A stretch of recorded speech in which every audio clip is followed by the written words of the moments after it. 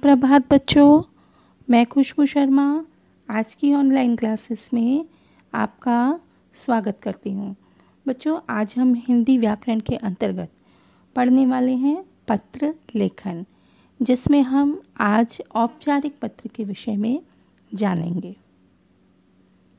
पत्र लेखन। पत्र लेखन की बात करें बच्चों तो हमारे पत्र लेखन की जो परंपरा है, वह अत्यंत ही पुरानी है। यह परंपरा द्वापर युग से चली आ रही है, जो आज तक चल रही है।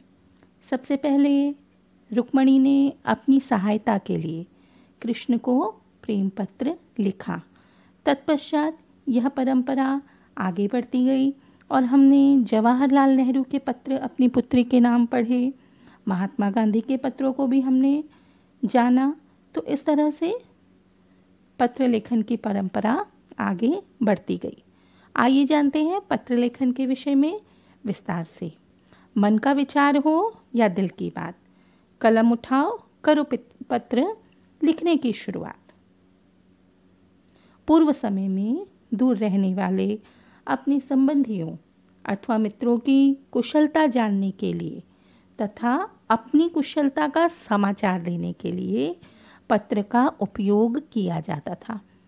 बच्चों, पूर्व समय में संचार के साधन के रूप में पत्र अत्यंत ही महत्वपूर्ण था। उस समय आधुनिक साधन जो कि आज उपलब्ध हैं, जैसे टेलीफोन, मोबाइल, ईमेल, ये सब चीज़ें नहीं थी और पत्र के माध्यम से ही व्यक्ति एक दूसरे के हालचाल को जानते थे। पहले एक स्थान से दूसरे स्थान तक संदेशों को भेजने के लिए एक ही साधन हुआ करता था और वह था पत्र। पत्र के लिए बच्चों, डाक विभाग, भारत सरकार ने डाक विभाग का गठन किया, जिसका मुख्य कार्य होता था पत्रों को एक निश्चित स्थान तक पहुंचाना। और इसके बदले में हम आपको डाक टिकट के रूप में एक शुल्क देना होता था। बच्चे, जो पत्र हम भेजते थे, उस पर डाक टिकट लगानी होती थी। पत्र क्या है? एक व्यक्ति द्वारा भावना रूपी शब्दों को दूसरे व्यक्ति के समक्ष लिखकर प्रकट किया जाता है। उसे पत्र कहा जाता है। एक पत्र के द्वारा अपनी बात व्यक्ति विशेष तक पहुंचाई जाती है, जिसके बाद पत्र ग्रहण करने वाला व्यक्ति के द्वारा इसका उत्तर पत्र के माध्यम से दिया जाता है। अर्थात दो व्यक्तियों की ओर में आपस में बातचीत संचार का माध्यम, अपनी भावनाओं को व्यक्त करने का माध्यम पत्र है।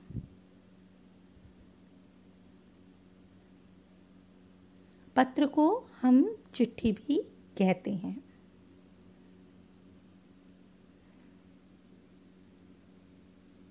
पत्र बच्चों, मुख्यतः दो प्रकार के होते हैं। औपचारिक पत्र, अनौपचारिक पत्र। औपचारिक पत्र। जो पत्र किसी विशेष कार्य के लिए उन लोगों को लिखे जाते हैं, जिनसे हमारा कोई व्यक्तिगत संबंध नहीं होता है, कोई रिश्ता नहीं होता है, वे पत्र, औपचारिक पत्र कहलाते हैं। सभी सरकारी व कार्यालयी पत्र औपचारिक पत्रों के अंतर्गत आते हैं।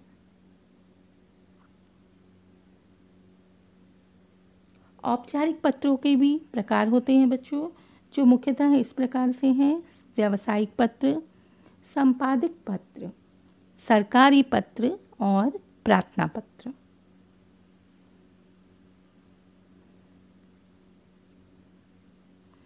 पत्र लेखन करते समय बच्चों, हमें कुछ बातों का विशेष रूप से ध्यान देना चाहिए, जो इस प्रकार से है।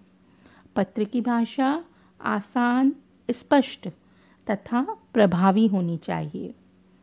विराम चिन्हों का उचित प्रयोग होना चाहिए। सबसे पहले पत्र के बाईं ओर अपना पता तथा तिथि लिखनी चाहिए। उचित संबोधन का प्रयोग करना चाहिए जैसे औपचारिक पत्र में हम लिखते हैं, बच्चों, महोदय, महोदया, श्रीमान, श्रीमती, मान्यवर आदि। औपचारिक पत्रों में, बच्चों, अभिवादन नहीं होता है। औपचारिक पत्रों में विषय लिखना अनिवार्य होता है।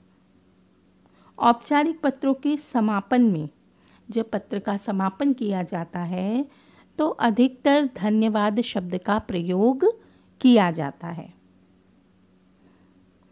आइए बच्चों, अब हम देखते हैं औपचारिक पत्र का प्रारूप।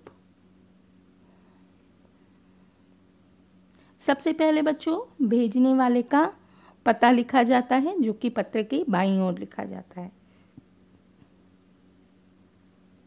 उसके बाद पत्र लिखने की तिथि लिखी जाती है।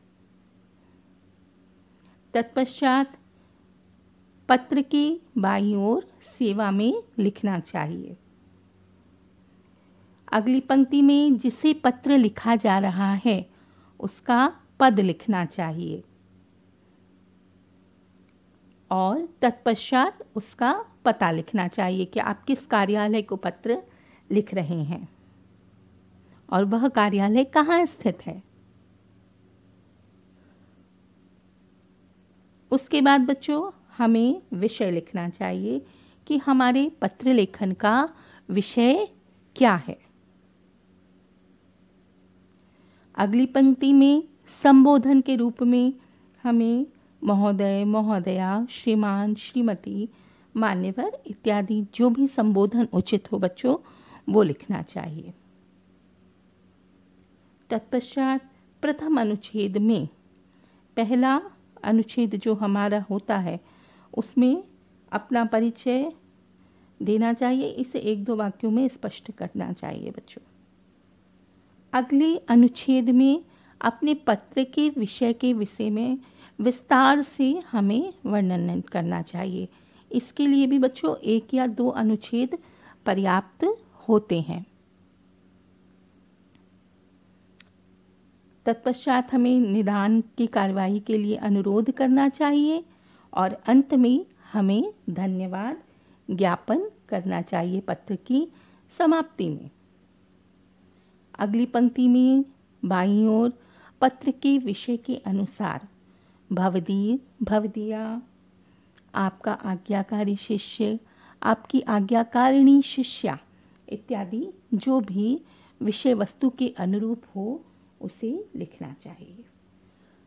इसके पश्चात अगली पंक्ति में अपना नाम लिखना चाहिए तथा अपना पता और यदि आप कक्षा में, स्कूल में पत्र लिख रहे हैं तो अपनी कक्षा लिखनी चाहिए। इस तरह से बच्चों, ये आपका औपचारिक पत्र का प्रारूप है। इसी के साथ हमारा पत्र लेखन के अंतर्गत औपचारिक पत्र आज यही समाप्त होता है। आशा करती हूँ कि आपको औपचारिक पत्र समझ में आया होगा। धन्यवाद।